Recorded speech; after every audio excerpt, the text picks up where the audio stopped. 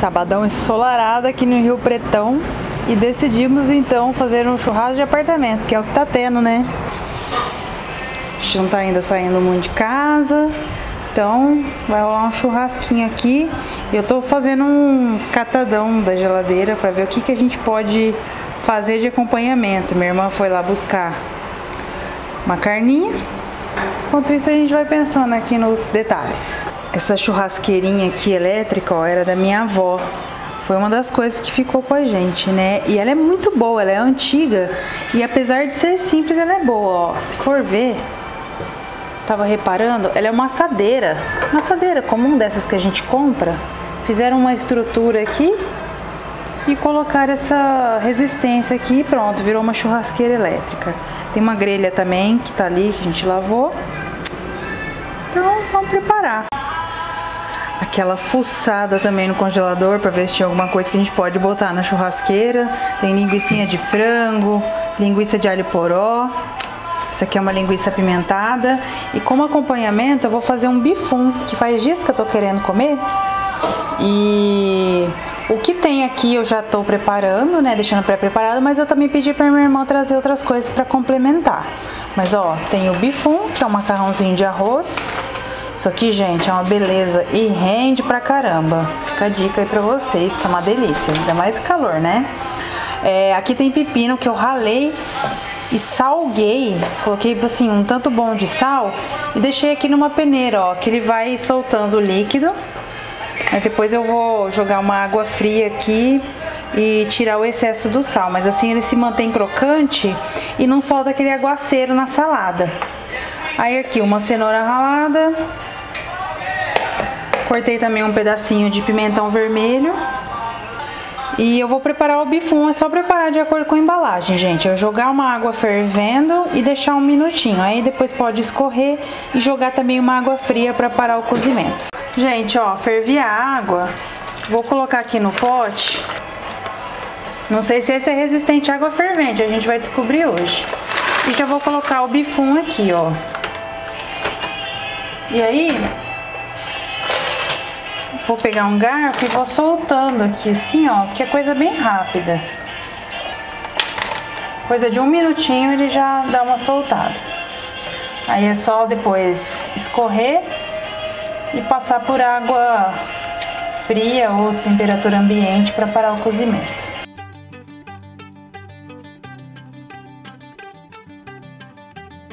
Gente, passou um minutinho e sempre tem uns macarrãozinhos, macarrõezinhos que insistem em ficar grudados, aí com o garfo você vai soltando, tá? Que é assim mesmo, é normal. Mas ó, é rapidinho, ele já cozinha. E agora eu vou escorrer aqui. E já ligo a torneira aqui, ó, água fria, para parar o cozimento com um garfo eu vou mexendo assim, ó, pra esfriar o macarrão.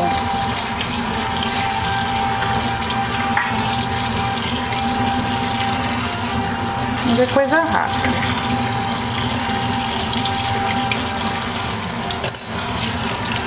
Pode fazer isso com a mão também, que você vai sentindo mais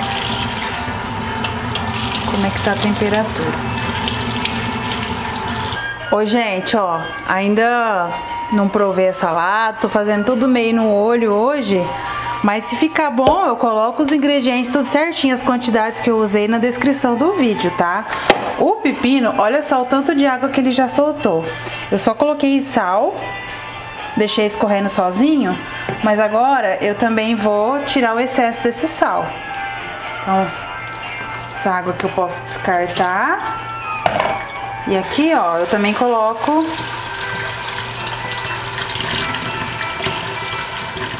Não repara que a pia tá com louça, aqui tem o gin da minha irmã. Normal, gente. Mas ó, passa uma aguinha assim. E aí, o que, que você pode fazer? Você vai pegando assim um pouquinho do pepino, ó, e espremendo para tirar todo o excesso de água. Faz isso com, com ele até não sair mais água assim bastante. Gente, saladinha de bifum você pode fazer do jeito que você quiser, tá? Porque assim, o bifum é um macarrão de arroz, ele aceita muitos ingredientes. Eu inclusive ensinei esses dias lá no Instagram a fazer uma salada de arroz. Então você pode partir mais ou menos do mesmo princípio. Eu aqui tô fazendo com aquilo que eu tô fuçando e achando na geladeira. E ainda vou adicionar mais uns ingredientes que minha irmã tá trazendo do supermercado. Mas, pô, salada de bifum é uma coisa tão democrática. Cada um tem sua receita aí.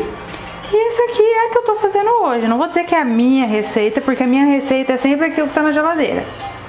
Ó, gente, tô esperando minha irmã chegar do mercado. Enquanto isso, eu já tomando uma cervejinha. E deixando tudo no jeito aqui, ó. Então, eu já vou misturar aquilo que já tá pronto aqui. O pepino, ó, eu já pressionei bastante para tirar o excesso de líquido dele. E vou colocar aqui. Aí, o que, que eu faço? A cada ingrediente que eu coloco, eu já dou uma misturada, porque fica mais fácil. Então, ó, o pepino que estava bem compacto, eu já vou dando uma misturadinha aqui antes de adicionar outro ingrediente. Dois pepinos viraram só isso aqui, ó, ele perde bastante líquido mesmo. Aí eu dou uma misturadinha de leve aqui. Precisa misturar tudo também não. Agora eu vou colocar a cenoura. Conta aí pra mim o que, que vocês. Se você gosta, né, de salada de bifum, o que, que você coloca na sua? Vai que eu aprendo uma, uma receitinha nova aí. Nossa, esse garfo. Ótimo pra isso, né? Esse tamanho. Mas conta pra mim se você tiver uma receita aí muito boa pra me passar. Ou se também, se você faz com aquilo que tem na sua geladeira. Aí, ó, dá uma misturadinha. E agora um pedacinho de pimentão picado, ó. Se você não gosta, não precisa colocar, não. Mas eu gosto e também dá uma cor, né? Vai misturando também.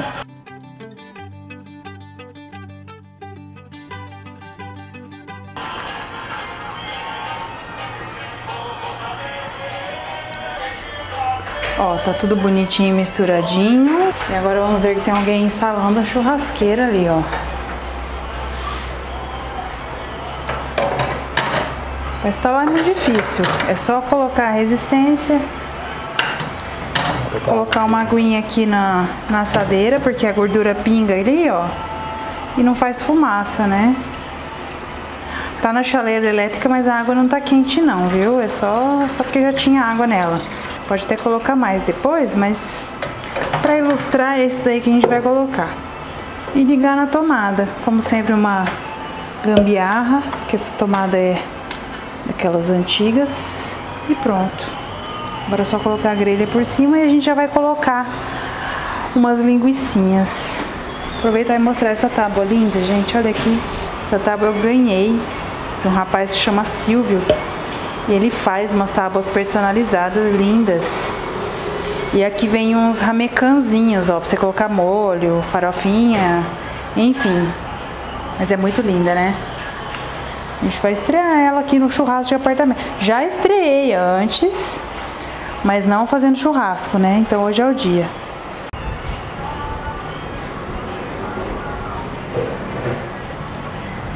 Ó, gente, churrascaço. Pensando que, que é assim, ué. Achando que é só prime rib, picanha, shoulder. Não, aqui é linguiça de todos os, todos os tipos. Frida, qual é teu churrasco preferido?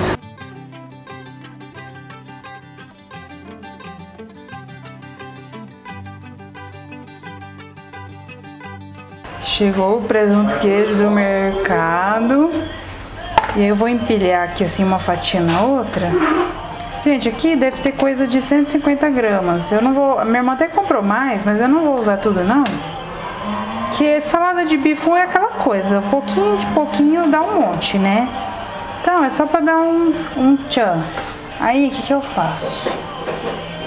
Primeiro eu vou cortar aqui, ó, metade. Empilho de novo. Esse aqui também. É pra já facilitar a vida. Não, o que a gente quer é facilitar a vida, né? Já vou cortando tudo de uma vez.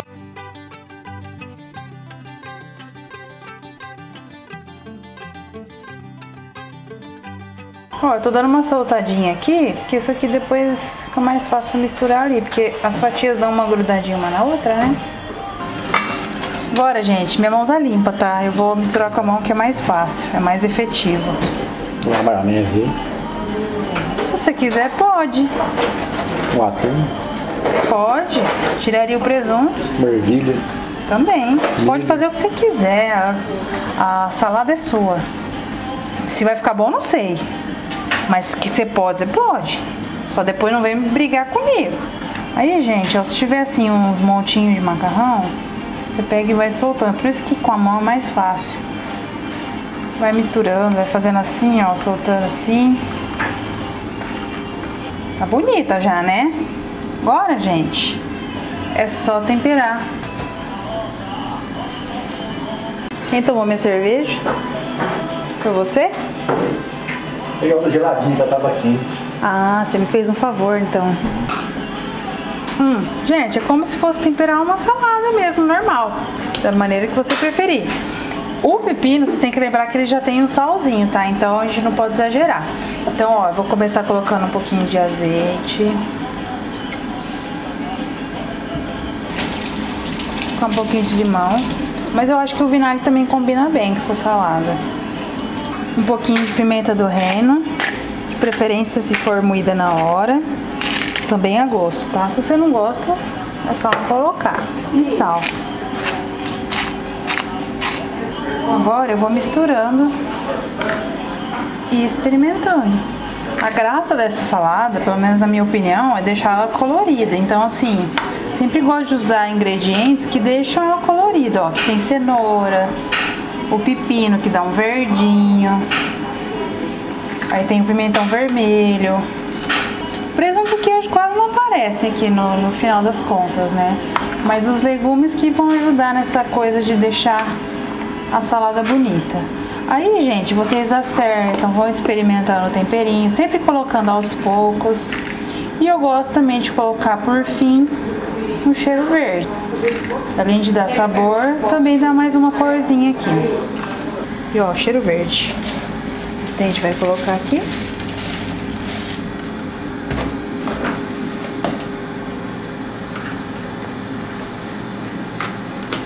Aí, gente, salada de bifum, ó. Tem erro não. Dá uma experimentadinha.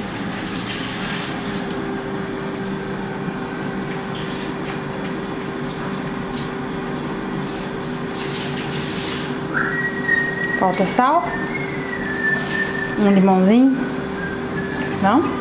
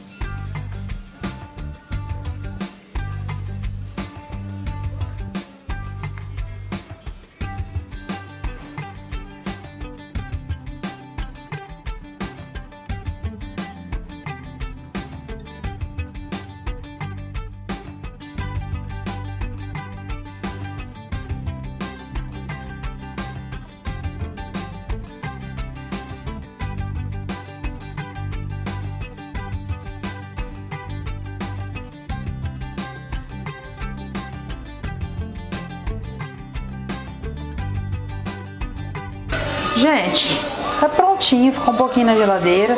E churrasco você sabe, né? A gente começa a beliscar, beliscar, beliscar e esquece de comer. E agora, eu lembrei. Só. Tem gente que gosta de colocar um shoyu.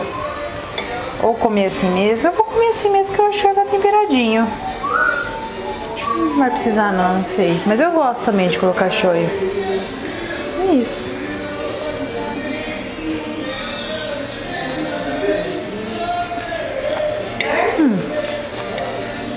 Sou suspeito pra falar porque eu fiz, né?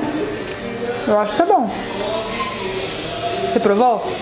Uhum. O que você achou? Bom.